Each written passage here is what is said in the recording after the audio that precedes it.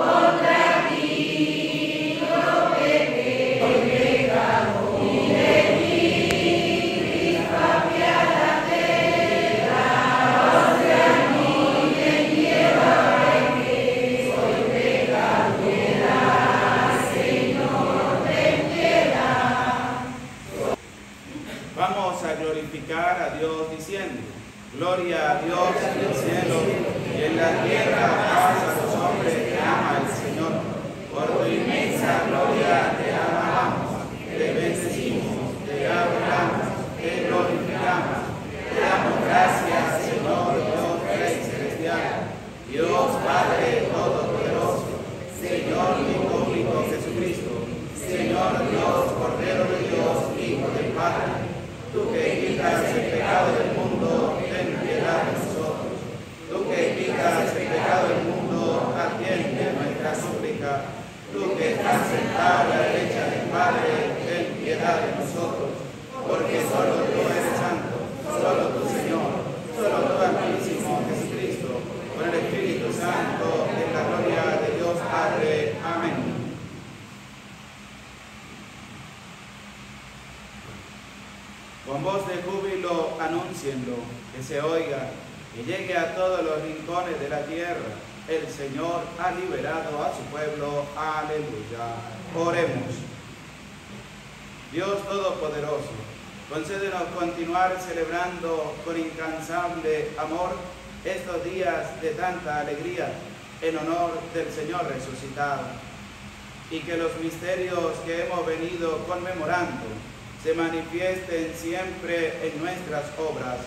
Por nuestro Señor Jesucristo, tu Hijo, que contigo vive y reina en la unidad del Espíritu Santo y a Dios por los siglos de los siglos. Amén. Pueden sentarse para escuchar con atención la santa palabra de Dios.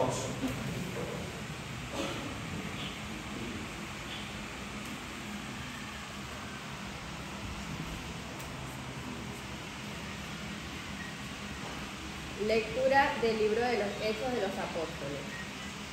En aquellos días vinieron de Judea a Antioquía algunos discípulos y se pusieron a enseñar a los hermanos que si no se circuncidaban de acuerdo con la ley de Moisés, no podrían salvarse. Esto provocó un altercado y una violenta discusión con Pablo y Bernabé al fin se decidió que Pablo, Bernabé y algunos más fueran a Jerusalén para tratar el asunto con los apóstoles y los presbíteros.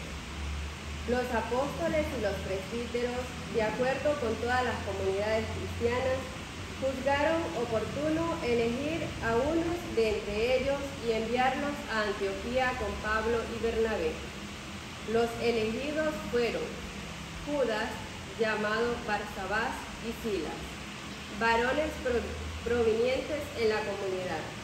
A ellos les entregaron una carta que decía, nosotros los apóstoles y los presbíteros, hermanos suyos, Saludamos a los hermanos de Antioquía, Siria y Cilicia, convertidos del paganismo, enterados de que algunos de entre nosotros, sin mandato nuestro, los han alarmado e inquietado a ustedes con sus palabras.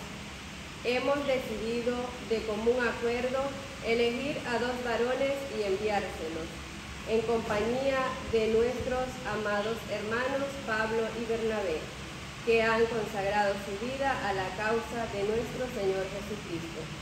Les enviamos pues a Judas y a Silas, quienes les transmitirán de viva voz lo siguiente.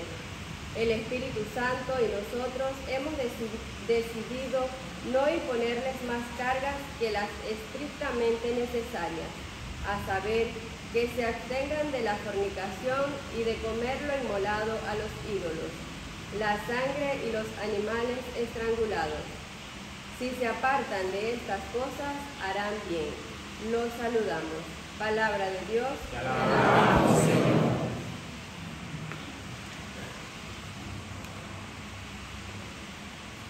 Te alaben, Señor, todos los pueblos. Aleluya. Que te alaben, Señor, todos los pueblos. Aleluya. Ten piedad de nosotros y bendícenos Vuelve, Señor, tus ojos a nosotros, que conozcan la tierra tu bondad y los pueblos tu obra salvadora. Que te alaben, Señor, todos los pueblos. Las naciones con júbilo te canten, porque juzgan al mundo con justicia. Con equidad tú juzgas a los pueblos y riges en la tierra a las naciones. Que te alaben, Señor, todos los pueblos. Que te alaben, Señor, todos los pueblos que los pueblos te aclamen todos juntos, que nos, nos bendiga Dios y que le rindan honor el mundo entero.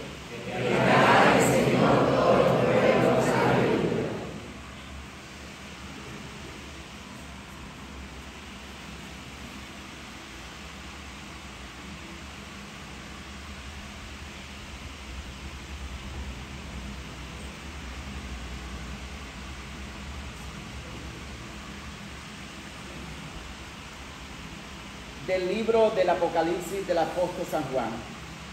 Un, ángel me transportó en mi espíritu a una montaña elevada y me mostró a Jerusalén, la ciudad santa, que descendía del cielo, resplandeciente con gloria de Dios.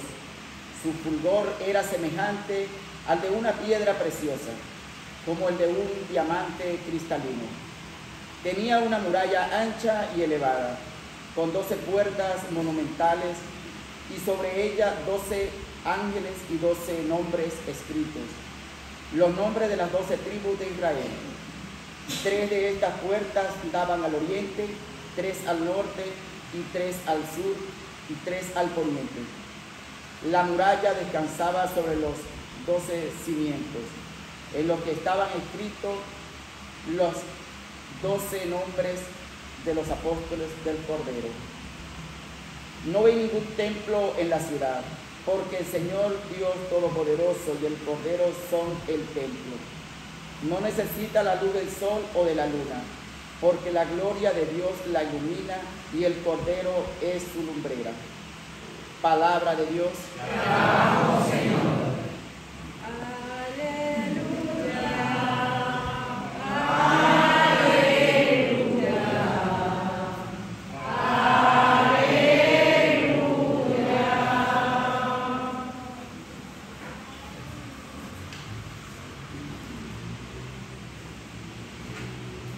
Esté con ustedes. Lectura del Santo Evangelio según San Juan.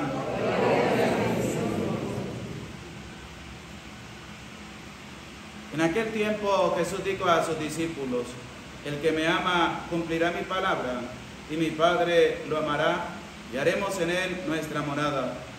El que no me ama no cumplirá mis palabras.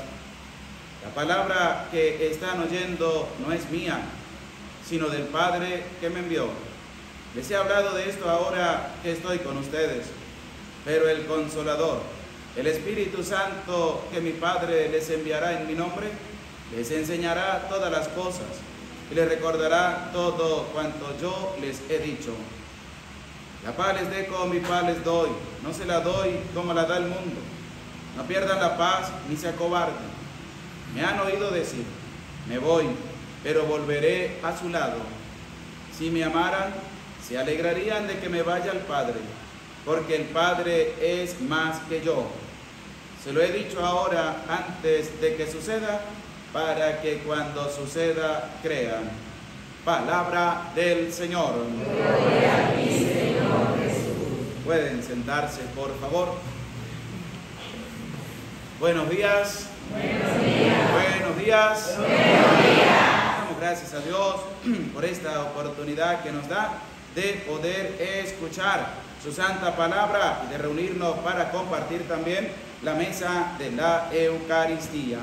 Es interesante lo que hemos escuchado a la luz de la palabra de Dios porque nos va a referir acerca del amor a Dios y a su palabra, que es lo que hemos venido también escuchando a lo largo de todos estos días en medio de la cincuentena pascual. Y es la referencia del amor, pero el amor a quién? En primer lugar, del amor a Dios, que nosotros debemos tener en medio de nuestra vida, porque no podemos decir que amamos a una persona y no amamos a Dios, porque estaríamos en un error, sino que en medio de nuestra vida, al primero que nosotros debemos amar, se llama Dios, que es el que está por encima de todo. Por eso mismo Jesús en el Evangelio que hemos escuchado dice, porque el Padre es más que yo.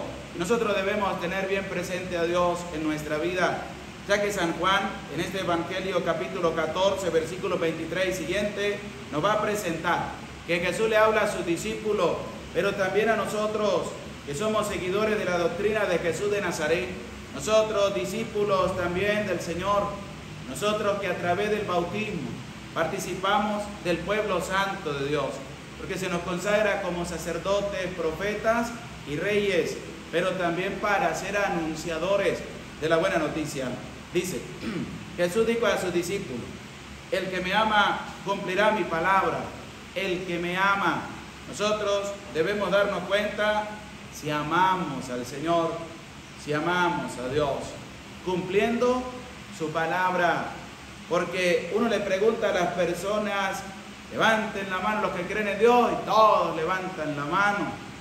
Pero aquel que le cree a la palabra de Dios, pues muy, muy pocos son los que van a levantar la mano. Porque creer en Dios es una cosa y creerle a la palabra de Dios es otra cosa. Porque Jesús lo presenta cuando dice, el que me ama es porque ha creído en Dios, ha creído en Él, lo ama a Él y además dice, cumplirá mis palabras. Creerle a la palabra de Dios. ¿Qué dice el Señor? Ama a tu enemigo. ¿Qué hacemos nosotros?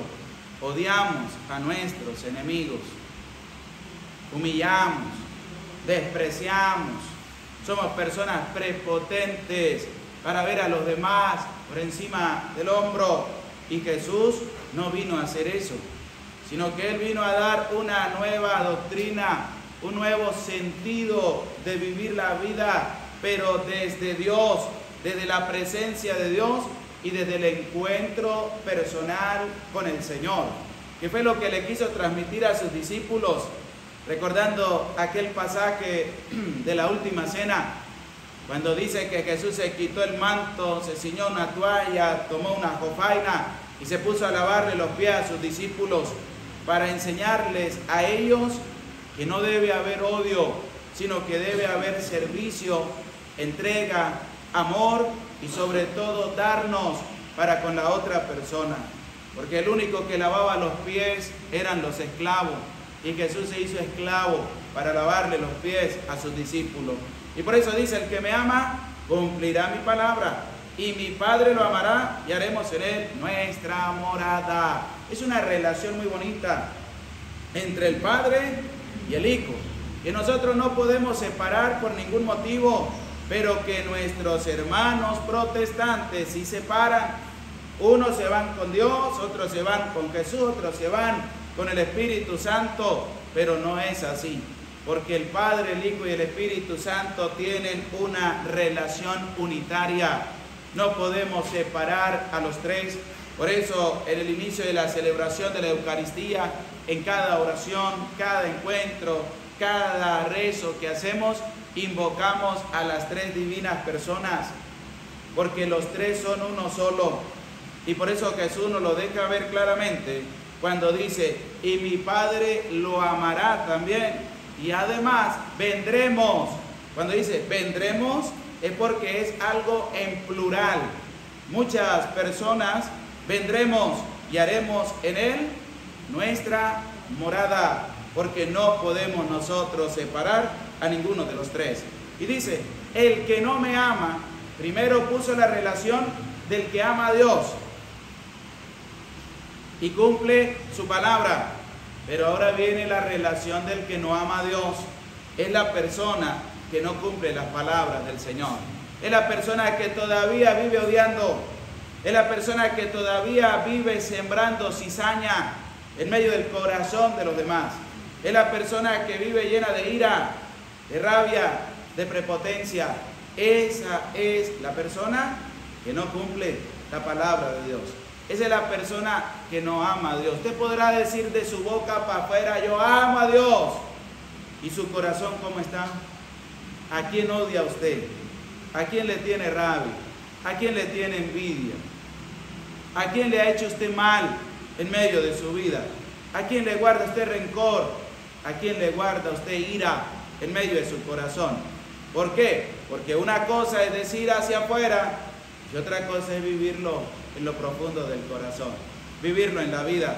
Y como a Dios no se le puede engañar, como a Dios no podemos caerle nosotros a cotorra a Dios diciéndole, Señor, yo te amo, porque es que Dios no se fija en las palabras, Dios se fija en el corazón de cada uno de nosotros. Por eso es que la relación tiene que ser muy íntegra en medio de la vida de la persona. Y claramente dice, el que no me ama no cumplirá mis palabras. ¿Por qué? Porque podemos decir que amamos a Dios, pero odiamos, tenemos ira, tenemos rabia, tenemos rencor, no perdonamos a nuestros hermanos las faltas que han cometido. Entonces decimos que amamos a Dios, pero no creemos y no cumplimos sus palabras. Y además dice, la palabra que están oyendo no es mía, sino del Padre que me envió. Les he hablado esto ahora que estoy con ustedes y después el Señor enviará al que guía la iglesia. Enviará al que le da el sustento a la iglesia, que es el Espíritu Santo, que es la tercera persona de la Santísima Trinidad. Por eso les decía, hay una relación unitaria. El Padre y el Hijo vienen a ser la morada en el que ama a Dios, ama a Jesús y cumple su palabra. Pero Jesús también dice, eh, les he hablado esto que estoy con ustedes, pero el consolador, el Espíritu Santo que mi Padre les enviará, es decir, viene la tercera persona de la Santísima Trinidad. Nosotros no podemos separar a los tres. Los tres mantienen una unidad. Así que, queridos hermanos y hermanas católicos, no se dejen engañar por doctrinas falsas y perversas. ¿Por qué? Porque la palabra de Dios es muy clara, que nosotros debemos mantener una relación unitaria con las tres divinas personas que son el Padre, el Hijo el Espíritu Santo. No se dejen engañar porque le van a quitar hasta lo que no tiene en cambio, en una relación trinitaria y unitaria de los tres, Más bien nosotros tenemos que tener un corazón grande para recibir la bondad de Dios. Dice Jesús, la paz les dejo, mi paz les doy. No se la doy como la da el mundo. Y esto es algo muy hermoso porque la paz de Dios lo llena todo. La paz del mundo sabemos en qué termina. Dice, no se la doy como se la da el mundo, porque ahorita la paz es un papel a nivel del mundo, pero cualquiera rompe ese papel y acaba y destruye con la vida de cualquier otro ser humano. Ahí tenemos la guerra que se emprendió hace meses, hace semanas, en medio de dos países, uno atacando al otro con odio, con ira, matando gente inocente. Tenemos la guerra en medio de los países africanos, en medio también del Medio Oriente, cómo se mata a la gente y cómo otros asesinan a otros y firman tratados de paz, pero que cualquiera los puede romper, porque la paz de Dios es distinta. La paz de Dios la vivimos cada uno de nosotros. Por eso dice Jesús, la paz les dejo para que nosotros la podamos asumir y la podamos vivir. La persona que tiene la paz de Dios no vive peleando con los demás. La persona que tiene la paz de Dios no vive insultando al otro. La persona que vive la paz de Dios no vive chismeando del otro, no vive criticando del otro, no vive haciendo y deshaciendo con la vida de la otra persona. Porque la paz de Dios no es así. Por eso Jesús les dijo a sus discípulos, no se la doy como la da el mundo, no la pierdan ni se acobarden. No hay que perder la paz de Dios. Amemos a Dios y cumpliremos su palabra, pero amémoslo de corazón y llevemos adelante también el fiel cumplimiento de la palabra de Dios. Gloria al Padre, al Hijo y al Espíritu Santo. Colocamos de pie y decimos todos, creo en Dios Padre Todopoderoso, Creador del cielo y de la tierra. Creo en Jesucristo, su único Hijo, nuestro Señor, que fue concebido por obra y gracia del Espíritu Santo, nació de Santa María Virgen, padeció bajo el poder de Poncio Pilato, fue crucificado, muerto, sepultado, descendió a los infiernos, al tercer día entre los muertos, subió a los cielos, está sentado a la derecha de Dios Padre Todopoderoso de allí de venir a ahogar a vivos y muertos. Creo en el Espíritu Santo, en la Santa Iglesia Católica, la comunión de los santos, el perdón de los pecados, en la resurrección de la carne y en la vida eterna. Amén. Elevemos nuestras súplicas, nuestras oraciones al Señor, pidiendo a Dios desde lo profundo de nuestro corazón en lo que traemos también ante el altar del Señor. Pidamos al Señor por la Santa Madre Iglesia Católica por el Papa Francisco, para que Dios le conceda la gracia de poder recuperarse en medio de su enfermedad, roguemos al Señor. Y damos al Señor también por cada uno de nosotros, que nos hemos acercado con humildad, con sencillez a esta celebración de la Eucaristía, para que Dios nos conceda lo que hay en lo profundo de nuestro corazón, roguemos al Señor. Pidamos al Señor también por todos los pobres, para que Dios derrame la gracia sobre cada uno de nosotros, para que podamos ayudar con un corazón íntegro, un corazón sincero a nuestros hermanos más pobres, roguemos al Señor.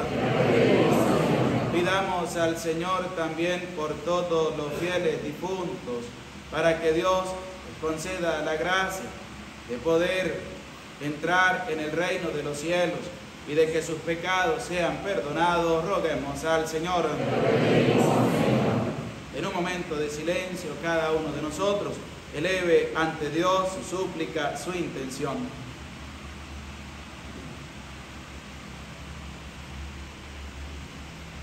Roguemos al Señor. Señor Dios nuestro, te alabamos y te bendecimos y te damos gracias por tu amor, por tu misericordia y te pedimos humildemente que aceptes estas súplicas, estas intenciones que hemos elevado ante ti en este día. Te lo pedimos a ti, que vives y reinas por los siglos de los siglos. Amén. Pueden sentarse. Continuamos con el canto del ofertorio. Yeah.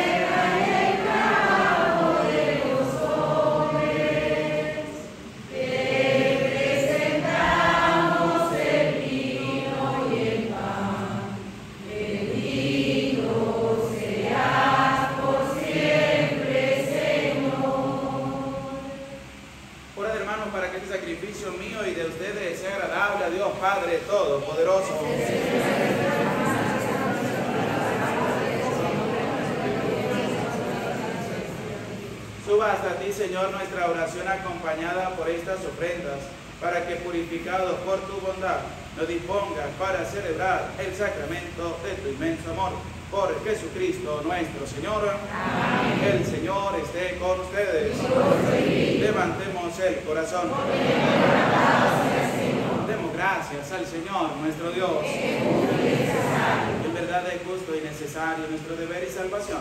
Glorificarte siempre, Señor, pero más que nunca en este tiempo, en que Cristo nuestra Pascua fue inmolado, porque Él con la oblación de su cuerpo en la cruz llevó a plenitud los sacrificios de la antigua alianza y al entregarse a ti por nuestra salvación, quiso ser al mismo tiempo sacerdote, víctima y altar. Por eso, con esta efusión del gozo pascual, el mundo entero se desborda de alegría y también los coros celestiales, los ángeles y los arcángeles cantan sin cesar el himno de tu gloria. Santo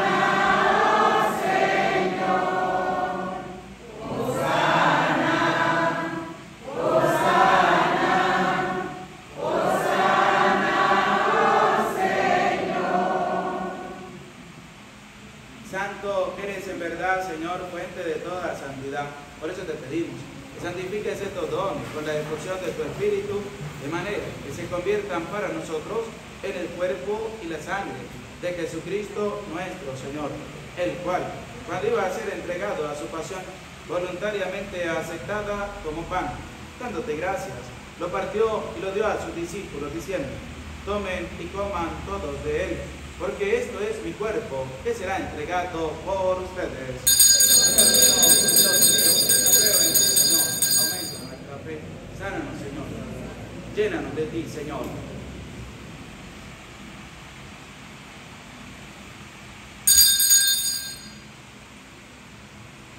Del mismo modo, acabada la cena, tomó el cáliz, dándote gracias de nuevo, lo pasó a sus discípulos diciendo, tomen y beban todos de él, porque este es el cáliz de mi sangre, sangre de la alianza nueva y eterna, que será derramada por ustedes y por muchos para el perdón de los pecados. Y les digo también, hagan esto en conmemoración mía. Señor mío, Dios mío, te ruego, Señor, aumenta nuestra fe, llena de ti, Señor.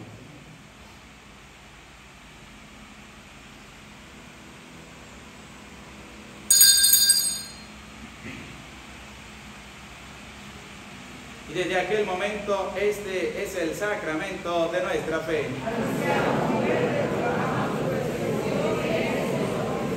Así pues, Padre, al celebrar ahora el memorial de la muerte y resurrección de tu Hijo, te ofrecemos el pan de vida y el cáliz de salvación y te damos gracias, porque nos hace dignos de servirte en tu presencia. Te pedimos humildemente que el Espíritu Santo congregue en la unidad a cuantos participamos del cuerpo y la sangre de Cristo.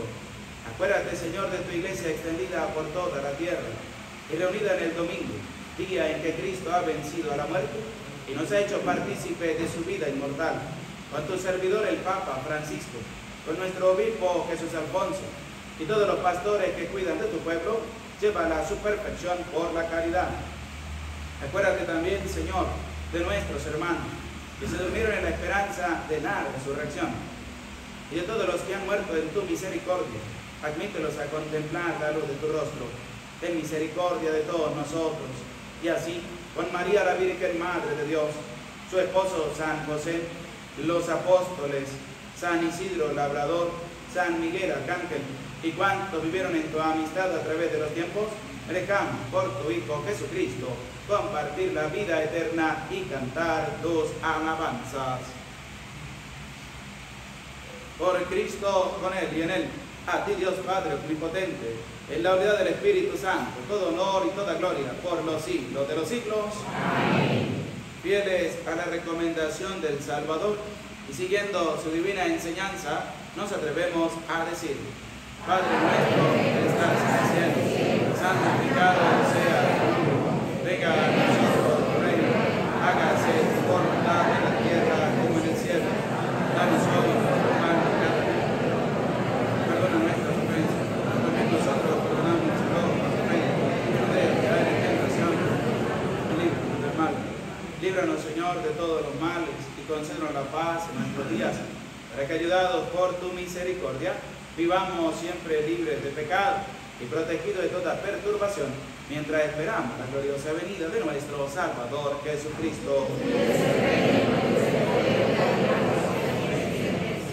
Señor Jesucristo, que dijiste a tus apóstoles, la paz les dejo, mi paz. No tengas en cuenta nuestros pecados, sino la fe de tu iglesia, y conforme a tu palabra, concédenos la paz y la unidad, tú que vives y reinas por los siglos de los siglos. Padre, el Señor esté siempre con ustedes. En el Espíritu de Cristo resucitado, damos el abrazo de la paz.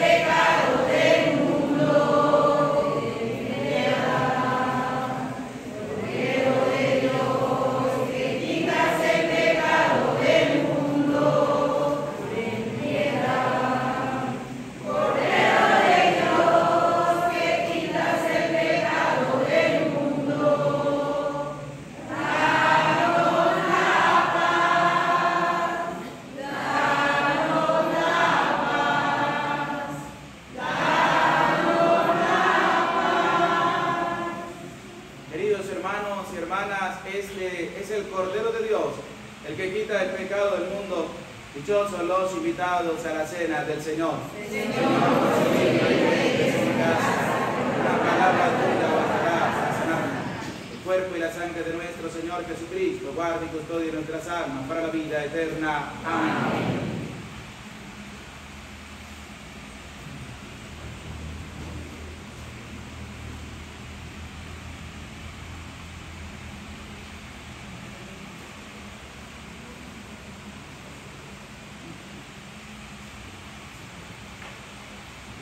Personas que van a recibir la comunión se pueden acercar, los demás se pueden sentar y elevan sus oraciones personales al Señor.